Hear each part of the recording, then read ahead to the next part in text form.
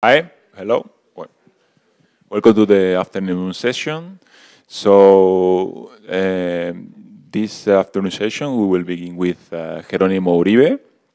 Jerónimo uh, is a researcher here at the Institute of Mathematics, and uh, he graduated in actuarial sciences, and, and after that he made his PhD, and of course graduated in 2007 and uh, the advisors uh, were Maria Emilia Caballero and, and Jean Bertoine. And after, because of this PhD, he, re he received the, the Weizmann Prize here in Mexico, of the best PhD, uh, PhD thesis in science.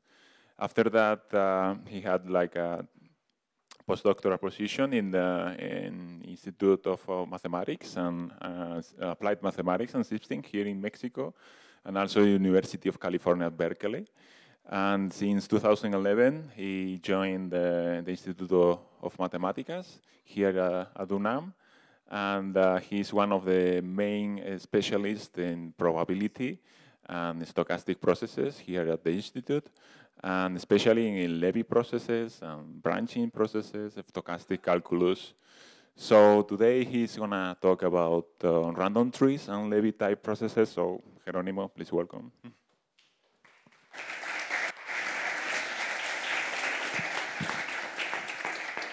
Well, thank you very much uh, for the introduction and the invitation.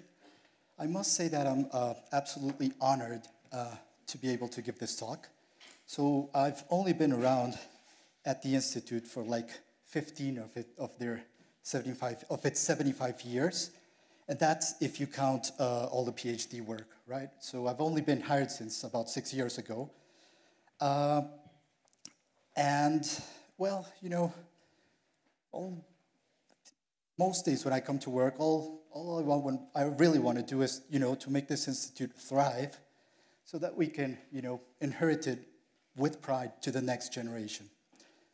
So I'm going to talk about inheritance, generations, because that's very suggestive of genealogies, genealogical trees.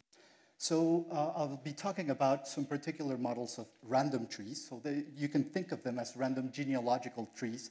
They will be linked to population dynamics and uh, some random functions that one, can associate to these uh, random trees, which are of uh, what they're called, the technical name is Levy process.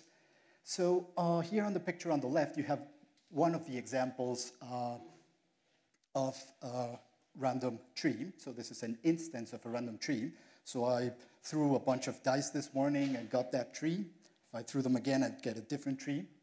And on the right, uh, you have the picture of uh, what would be a Levy type process. So this is actually a, an, an, exact Levy process. It's called a stable process. And uh, well, as you can see, it seems to be discontinuous, right?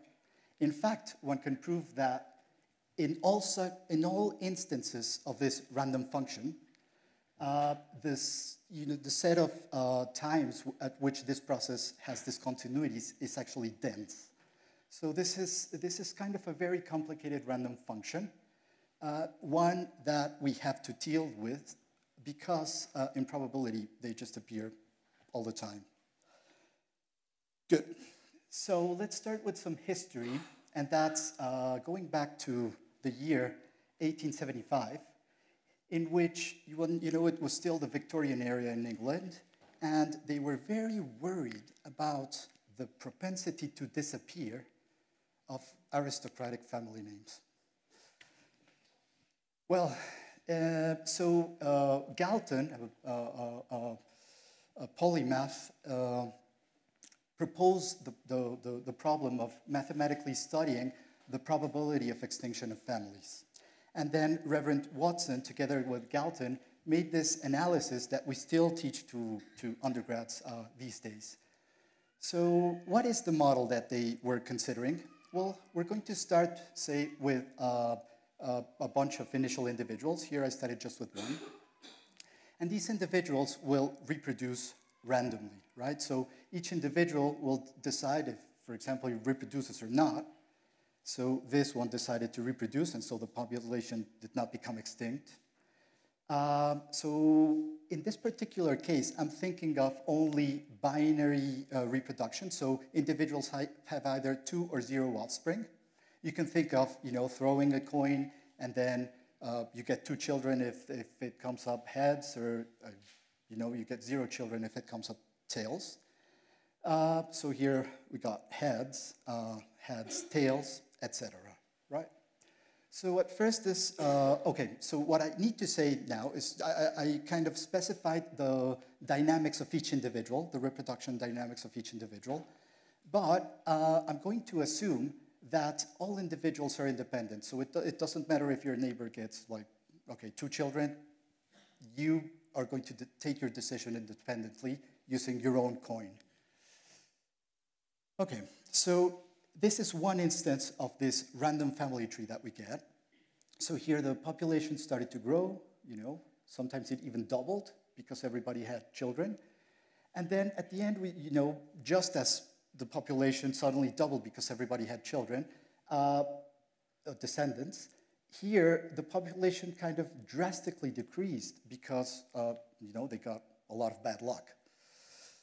Uh, until, you know, at this generation, nobody reproduced, and then the population became extinct.